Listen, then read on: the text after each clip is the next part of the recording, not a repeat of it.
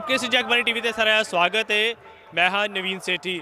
ਅੱਜ ਅਸੀਂ ਹੁਸ਼ਿਆਰਪੁਰ ਦੇ ਵਿੱਚ ਖੜੇ ਹਾਂ ਜਿੱਥੇ ਪੰਜਾਬ ਦੇ ਮੁੱਖ ਮੰਤਰੀ ਅਤੇ ਦਿੱਲੀ ਦੇ ਮੁੱਖ ਮੰਤਰੀ ਅਰਵਿੰਦ ਕੇਜਰੀਵਾਲ ਜਿਹੜੇ ਹਨ ਉਹ ਇੱਥੇ ਪੁੱਜਣ ਜਾ ਰਹੇ ਹਨ ਤਸਵੀਰ ਤੁਹਾਨੂੰ ਦਿਖਾਉਂਦੇ ਆ ਤੁਸੀਂ ਪਿੱਛੇ ਸਟੇਜ ਦੇਖ ਸਕਦੇ ਹੋ ਸਟੇਜ ਜਿਹੜੀ ਹੈ ਉਹ ਤਿਆਰ ਹੋ ਚੁੱਕੀ ਹੈ ਤੇ ਤੁਸੀਂ ਦੇਖ ਸਕਦੇ ਹੋ ਵਿਕਾਸ ਕ੍ਰਾਂਤੀ ਜਿਹੜੀ ਹੈ ਉਹ ਇਸ ਦਾ ਨਾਮ ਦਿੱਤਾ ਗਿਆ ਵਿਕਾਸ ਕ੍ਰਾਂਤੀ ਰੈਲੀ ਤੇ ਤਕਰੀਬਨ ਇੱਥੇ ਭਗਵੰਤ ਮਾਨ ਅਤੇ ਅਰਵਿੰਦ ਕੇਜਰੀਵਾਲ 867 ਕਰੋੜ ਰੁਪਏ ਦੀ ਲਾਗਤ ਨਾਲ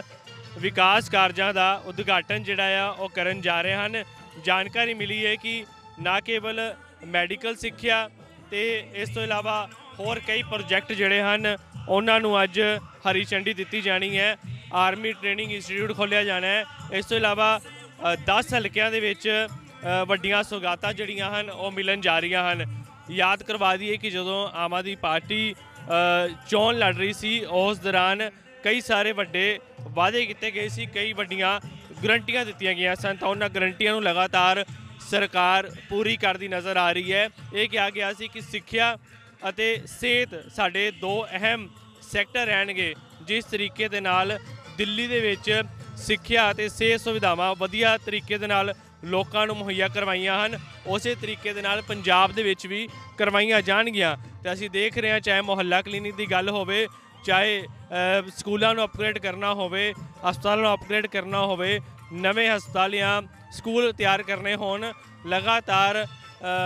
ਪ੍ਰੋਜੈਕਟ ਜਿਹੜੇ ਹਨ, ਉਹ ਚਲਾਏ ਜਾ ਰਹੇ ਹਨ ਤੇ ਅੱਜ ਦੀ ਤਸਵੀਰ ਤੁਸੀਂ ਦੇਖ ਸਕਦੇ ਹੋ ਕਿ